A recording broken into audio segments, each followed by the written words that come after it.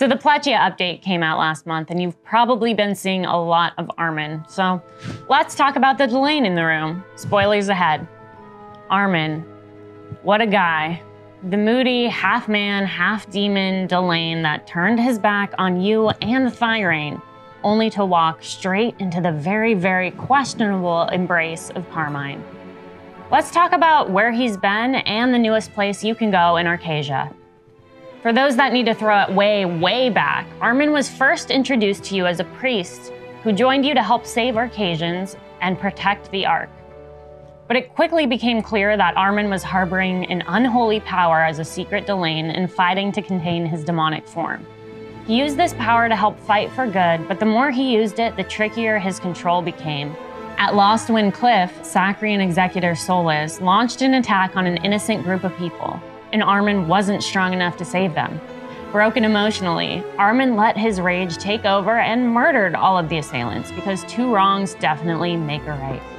Despite you and Thirain coming to save the day like you always do, Armen refused to return home with his two best friends, instead fully embracing his Delain form and Kharmine.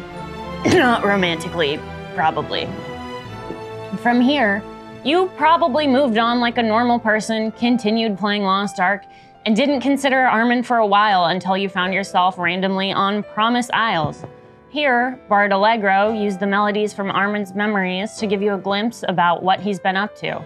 Turns out that while you were off saving the world or whatever, unimportant, Armen was traveling across Arkesia with his new best friend, Kharmine, on a grand tour of all of the horrible things humans do. Despite being replaced, Allegro assures you that you still are the light for Armen, even as he quite literally battles his own demons. And he tells you that you will cross paths again someday. I guess that seems legit, since Allegro has showed off how OP of a bard he is before. But one thing that Allegro didn't tell you was that Kharmine had convinced Armen to meet Kazeros and learn the truth of the world, which is apparently not as it seems. But you moved forward as always and eventually found yourself in Elgacia, where Armen finally decided to make an actual appearance. With Kharmine in tow, surprise, the enemy of my enemy is my friend, these two helped you face off against Lauriel and save Elgacia to find the last arc. When the battle ends and after some other extremely important and relevant plot points happen that we're not going to bother to get into here, Armen returns to the side of a cliff to brood. He seems to have a thing with cliffs, given what happened on Lost Wind. Here he calls you old friend and proceeds to grunt at you for several minutes before finally lamenting about the past. Talk about giving mixed signals and being a fair weather friend. If this were a real relationship, I'd probably tell you to give it up because there is no way this is healthy. Not to mention the whole keeping the whole world from falling apart thing you're actually trying to accomplish. But because Allegro the Bard told us not to let go, it's now time to adventure to Pleccia, where Armen grew up.